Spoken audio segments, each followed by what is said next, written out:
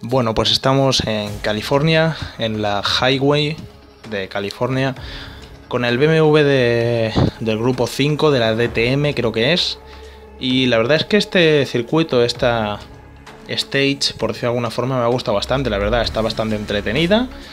Y espero que a vosotros también os entretenga, la verdad, porque está bastante guapa.